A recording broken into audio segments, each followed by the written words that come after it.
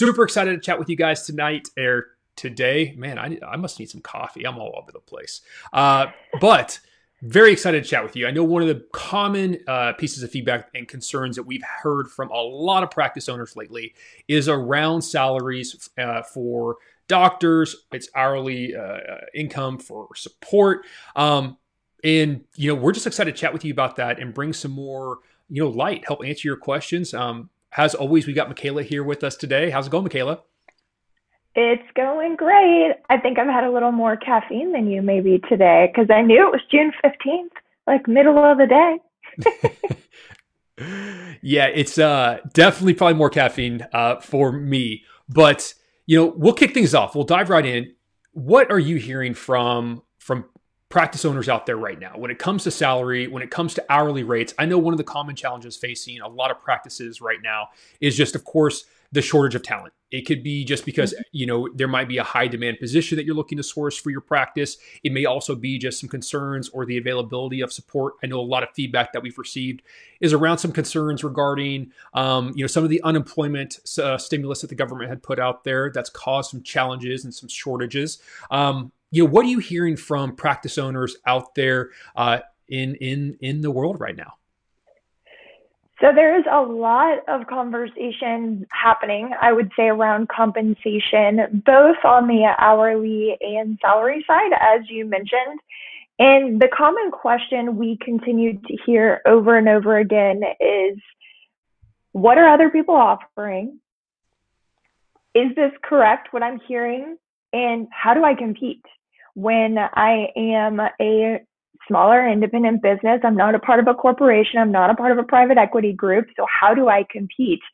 But the questions that just keep coming almost weekly now are what is real and what is false? Because what the candidates are telling me seems to be totally out of whack and nobody really knows how to handle that. So that's been a lot of the conversation that we've been having as of late. Yeah, one of the common, I think, pieces of feedback that I hear pretty routinely is, you know, the these these doctors what they want. I mean, I never made that kind of money. Uh, some some some practice owners may still not be making the type of income that certain associates are out there requesting. Um, you know, for a practice owner who's kind of facing that right now, you know, what kind of feedback would you give give them? You know, what would you what would you share with them? So, first, I would share that the unfortunate reality for you, if you graduated in 2007 or 2008, is that it costs more today for you as a business owner to hire talent equivalent to maybe the years of experience you had when you started.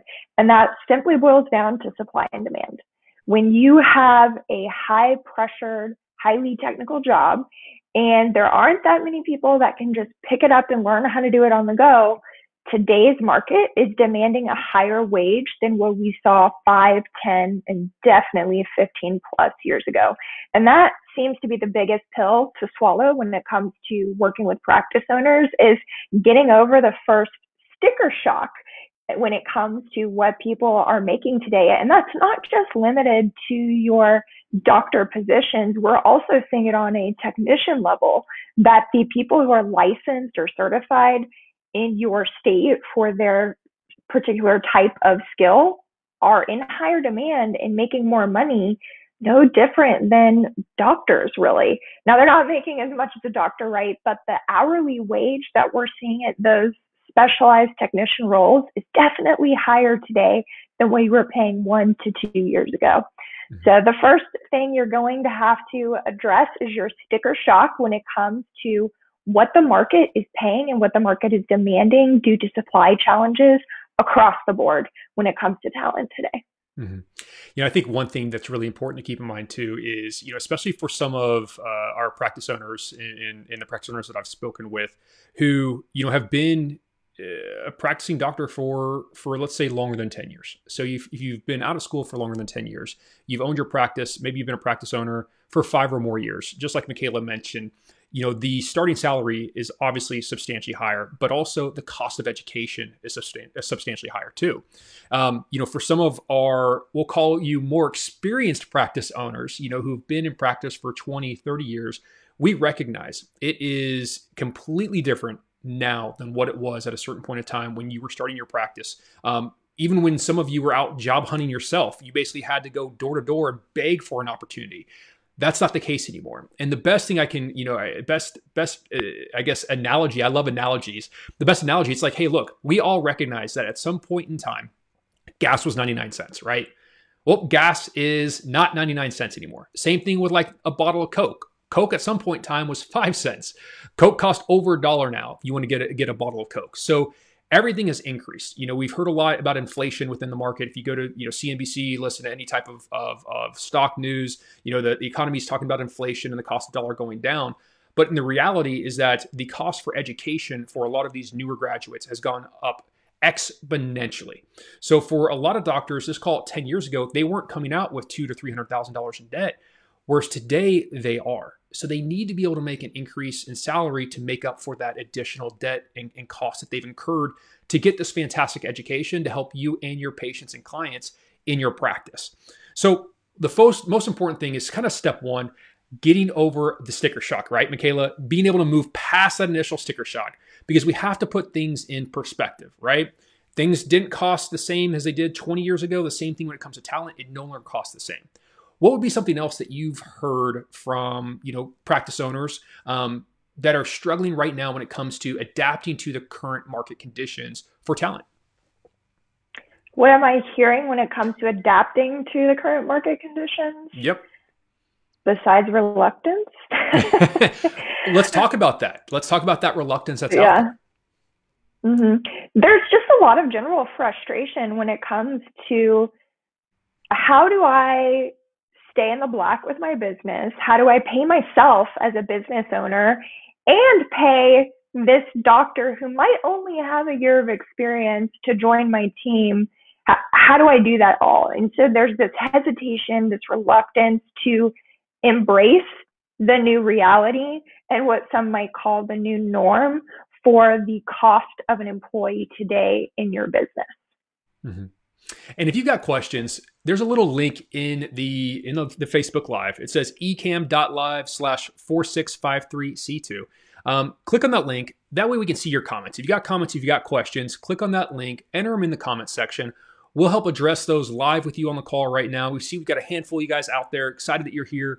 Um, we want to hear your questions. We want to hear any concerns, comments you have. We'll address those as we dive into it because we know that this is a challenge that you're facing, right? And this is something that we want to help you overcome in the industry today.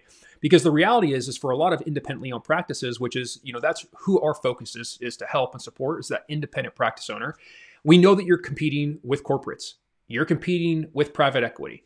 And we've seen some of those numbers floated out there that some of these large corporations are, are offering to attract top, top, top quality candidates and top quality talent. And we know that for a lot of practice owners, there's just no possible way that's not in your reality to be able to offer certain compensation packages. But Mikaela, wouldn't you agree that for a lot of candidates, it's not always about compensation? There's so much more to the total, you know, we'll call it the total compensation package.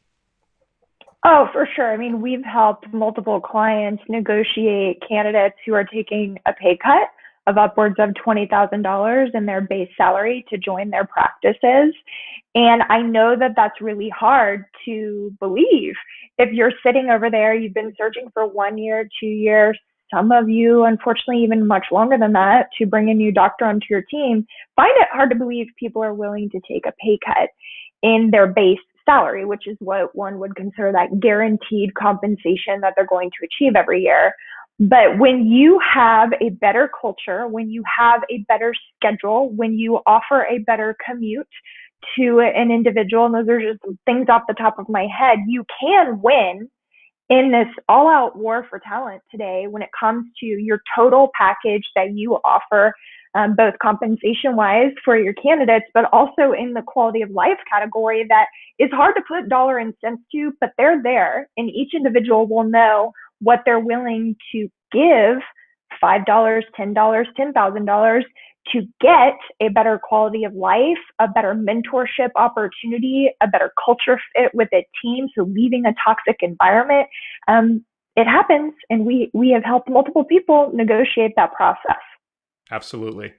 So if if you find yourself facing kind of some of these challenges, competing with with corporates, competing with private equity, just frankly competing with other practices out there, kind of all gunning and offering large salaries, larger salaries than you expected. Hit that little like button for us. Let us know on, you know, in in the comment section. Type in a comment. You know, click the like button. Let us know this is what you're facing. Because again, we want to be able to help you guys address these challenges you know, one of the things that we did early on, you know, today is we talked about associates, right? We talked about doctors and kind of their compensation. And Mikaela, you had commented on some of the hourly um, positions that are also facing not only a shortage, but but a competition for for credentialed, licensed, registered, you know, technicians. Those individuals what would you recommend? I mean, because the strategy is a little bit different. There's some similarities, right? But the strategy is a little bit different when it comes to hourly versus somebody who is uh, you know an MD, a DVM, an OD, you know a PT, you know some of these more advanced positions. When it comes to competing for talent in an hourly rate standpoint, what are some of the you know top challenges you're seeing in the market today for independent practice owners? When it comes to competing on the hourly side, it's actually very similar to competing on the associate side. So we actually had a conversation with somebody just last week who was speaking with candidates for licensed technician opportunities that were making eight to ten dollars more per hour than what her maximum range was. And the sad reality is you're not going to get somebody over a hump when it is an eight to ten dollar gap mm-hmm. on the hourly side. It is much more challenging because the way people live is oftentimes a little different, um, especially when you can't compete on a benefit package either. So the best thing to do is to gather intel in those situations because if you are a member, um, maybe you have a partner in business, so you are a co-owner in your practice, and you're trying to convince your business partner, "Hey, man, we are really lagging in our pay rates." And every time I talk to a candidate, I hear that they're making 20% to 30% more than our entry level rate is, or more than our maximum rate is for our position. I would encourage you to gather that intel to come together as a team. If you are a sole owner and you hear from your practice managers that are having these conversations with these hourly individuals over and over again, that the candidates today are asking above what your maximum pay rate is for that position, mm-hmm. I'm going to challenge you to really evaluate are you competitive in today's market on the hourly side as well?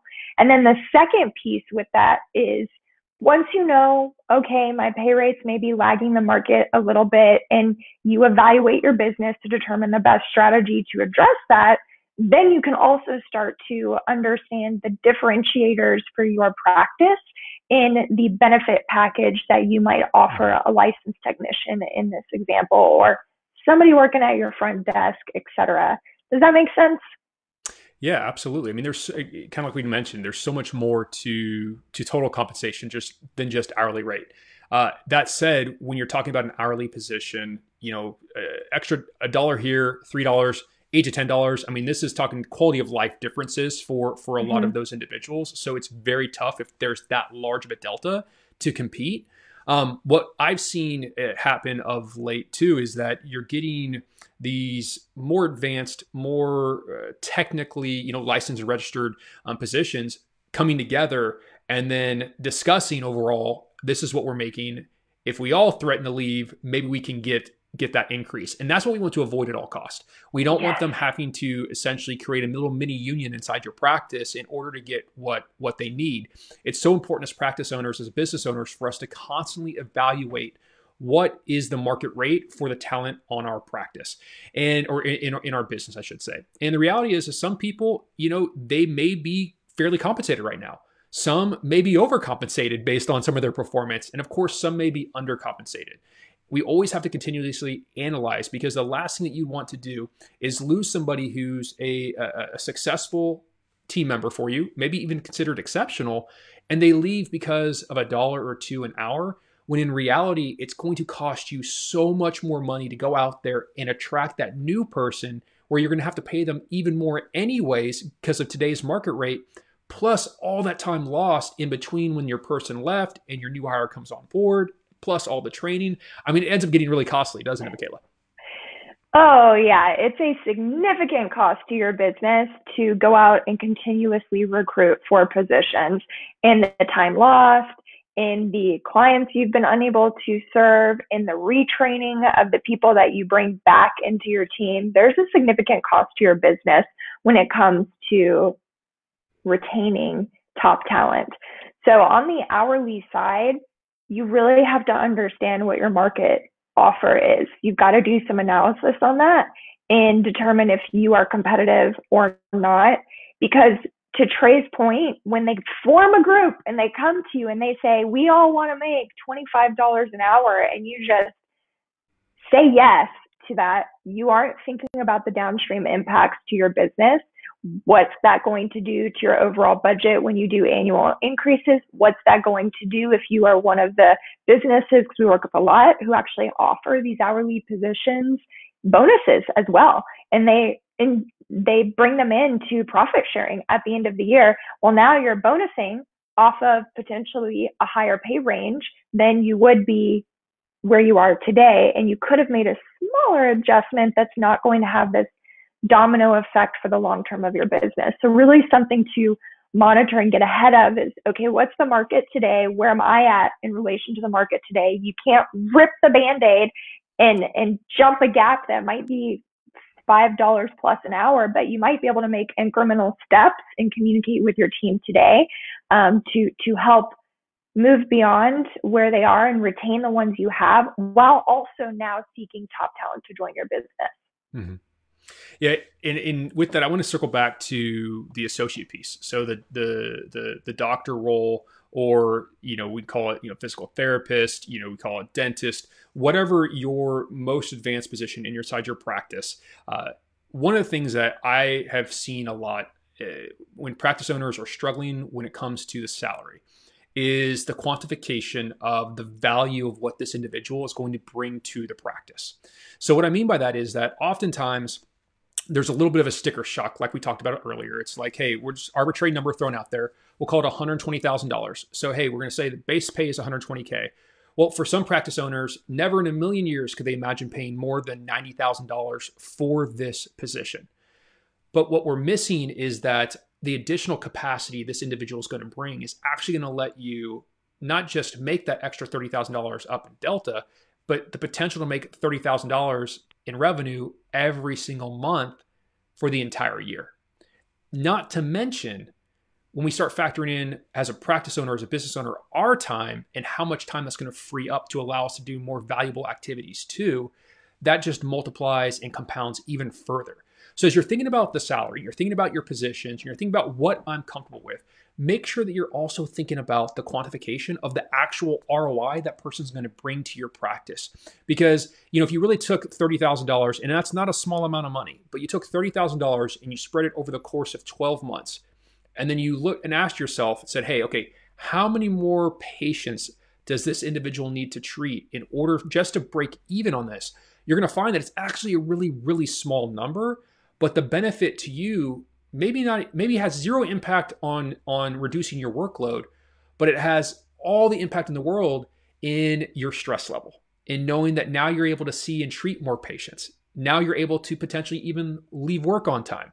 Maybe you've got that coverage that you need in your vac- for for that vacation that you have coming up.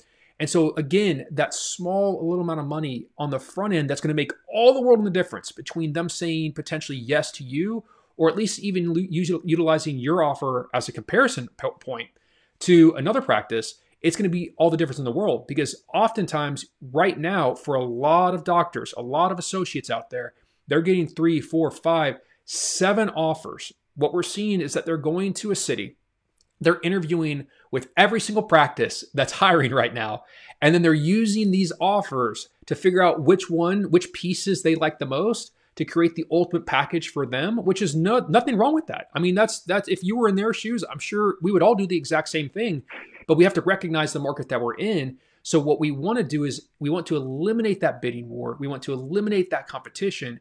And we do that in a lot of different ways that we get into a lot within our, our program Beyond Just You and within our support structure.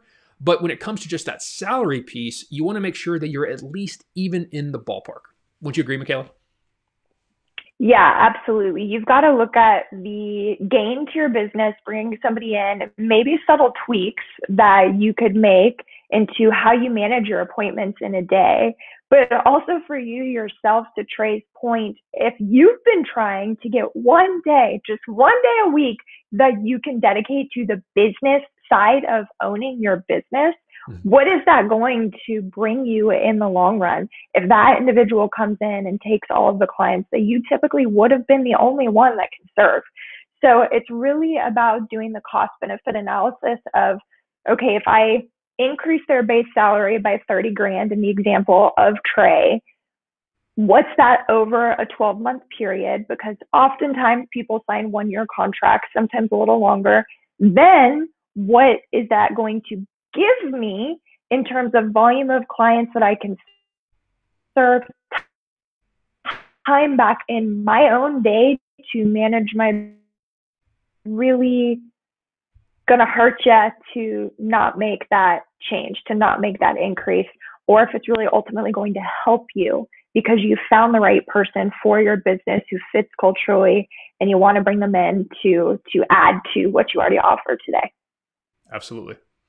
We hope you guys found this immensely valuable. Whether you're watching this live with us right now or you're coming and watching this this replay later on this week or even in, in the months to come. If you've got questions on salary, go down the comments section, enter in the word salary, and we'll reach out to you and see how we can best support your questions. Um, if you got a question right now too, while we're hopping on here, you can pop it in there too. We'd happy to, we're happy to answer any questions live with you. Um, but we're to be doing this every single week tackling topics that you're facing within your practice, within the industry right now to help you overcome any people challenges, any recruitment challenges, any retention and team development challenges that are occurring in your practice today. So every single Tuesday, 1 p.m. Eastern, we're Eastern, I should say, we're going to be here live with you. Um, really enjoy chatting with you guys today. Anything, any closing statements, any closing comments or, or words of wisdom, Mikaela, you share with the with our, our, our listeners and our watchers? I would say when it comes to compensation, get out of your own head and partner with somebody to help you determine the best path forward for your business. Because I have found time and time again working with multiple business leaders and owners over time that once you sit down with someone and do the math and look at it side by side, you're likely to come to the right resolution for you and the candidate, but you just have to partner with somebody and get out of your own head. That's awesome. If you find yourself you wanting some help or you need a partner, just go to the comment section, type in BJU. Myself or one of our team members will reach out to you. Uh, we'll be happy to help. Hope you have a great rest of your day. We'll chat with you guys next week. Bye, everybody. Bye.